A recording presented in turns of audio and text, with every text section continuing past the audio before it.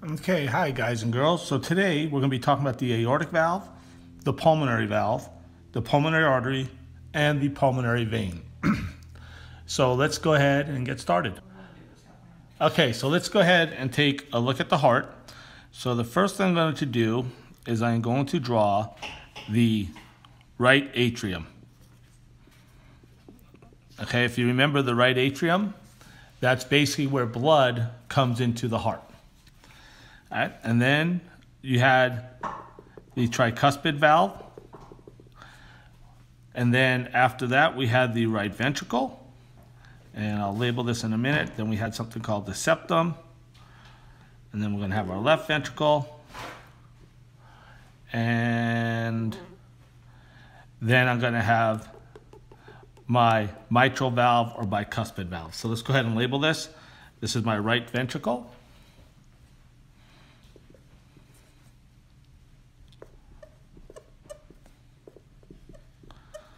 Okay, and then this is my septum, right? My ventricular septum.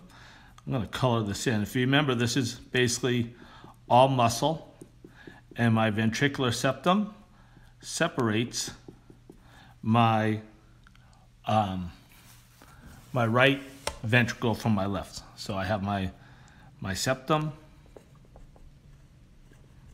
Okay, and then I am going to have my left ventricle.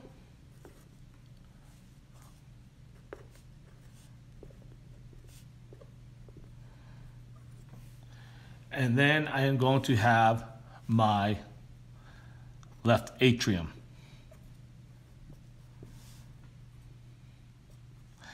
And if you recall, if you recall, we said that we had valves. So this was my mitral valve or my bicuspid valve. Um, so there's my mitral valve. And this was my tricuspid valve.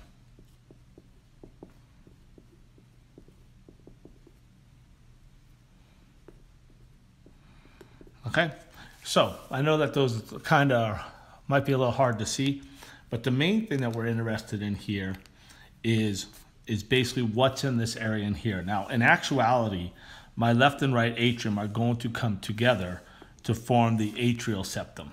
But for the purpose of today, I'm just going to leave a space in there. So the first thing I'm going to have is I have another valve that comes in here and we're going to call this the pulmonary valve. This is my pulmonary valve. All right, that's going to be my pulmonary valve. And then it's going to go into my pulmonary um, artery.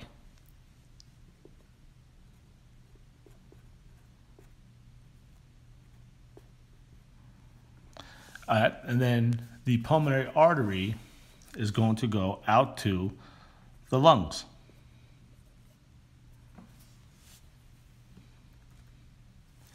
Okay, and then over on this side, I'm going to have another valve. I'm going to use a different color.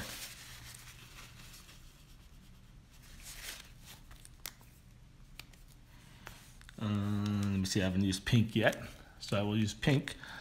And I have another valve here, and then I'm going to have an artery here.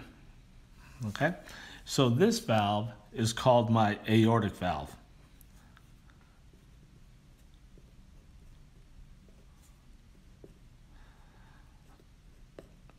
And so my aortic valve is basically going to go between the left ventricle and the aorta.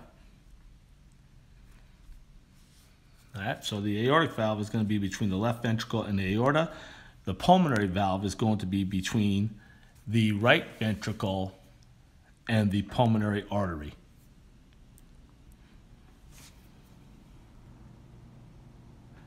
So now, if we were to look from the top of the heart, our heart would look something like this. Let's say we cut it off.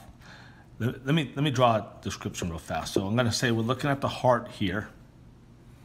We're looking at the heart, and we have this here.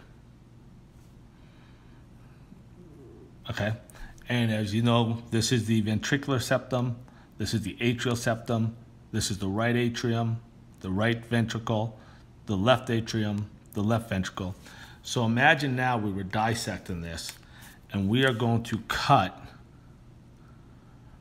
basically right along here and remove that. And so what it would look like is something like this. Um, I'm gonna have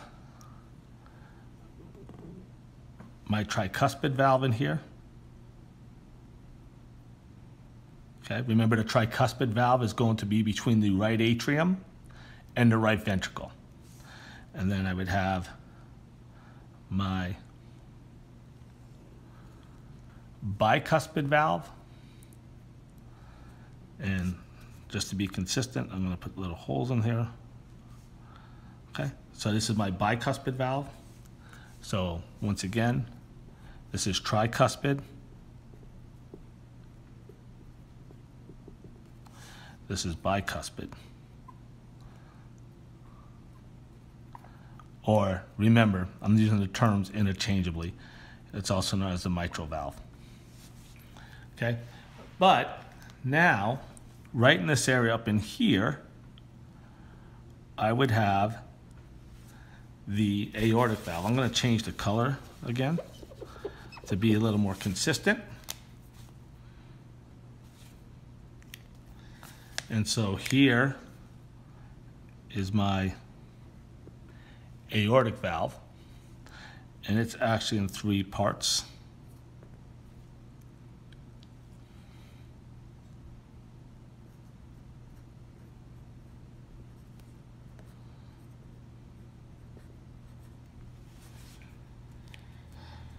Okay, and then in front of this, I am going to have my pulmonary valve, which would basically be in front of this.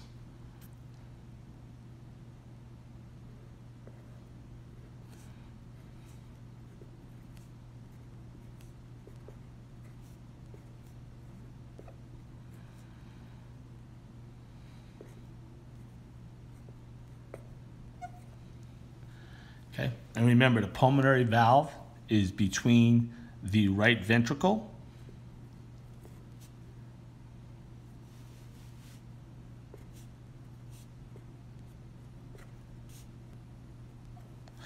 and pulmonary artery.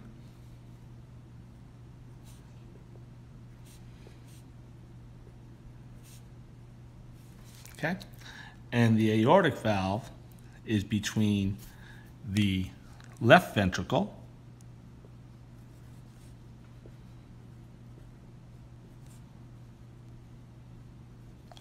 and the aorta.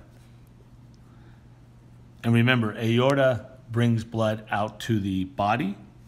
The pulmonary artery, in fact, I'm going to write that. The aorta brings blood to the body. And the pulmonary artery brings blood to the lungs.